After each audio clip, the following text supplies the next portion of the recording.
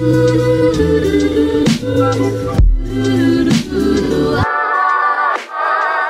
were basically young people who were kind of getting loaded and they were just making a lot of conversation that they could build off of.